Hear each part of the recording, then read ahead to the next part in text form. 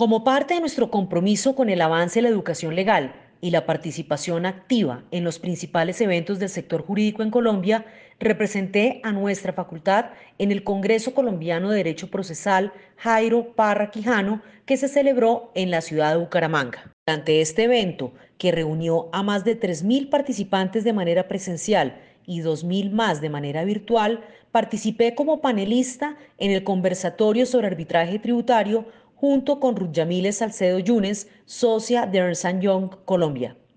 Este espacio fue una valiosa oportunidad para reflexionar y debatir acerca de la necesidad del arbitraje tributario, tanto a nivel nacional como internacional, como una alternativa efectiva para la solución de conflictos en esta materia. Ante mi intervención, abordé los proyectos de ley que se han presentado en torno al arbitraje tributario y compartí el panorama internacional sobre cómo algunos países de la región lo han adoptado.